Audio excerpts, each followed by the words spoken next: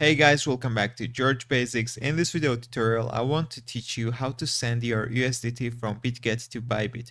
First of all, you need to log into your BitGet account, then you need to hover over this wallet icon on the top right side and go to the spot account. Now you want to search the USDT and click the withdrawal button. Uh, let's select the network. I suggest you to use BEP20 network because it has got the lowest fees. Now let's go to the Bybit and let's find BEP20 wallet address. First of all, we need to hover over the assets on the top right side and go to the funding account. Now let's find USDT in the list. If you can't find it, you can use the search bar right here. Uh, let's click deposit. Let's select the chain network. Uh, so we are selecting BEP20 uh, Smart Chain and let's copy the wallet address. Let's go back to BitGet and paste the wallet address inside this gap and click the next button.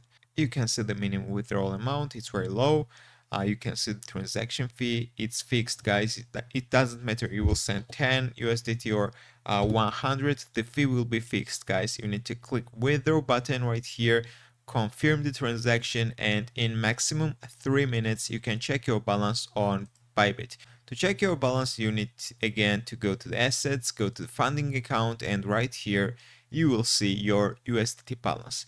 That's all I wanted to show you. If this video was helpful for you, don't forget to click the like buttons and don't forget to subscribe.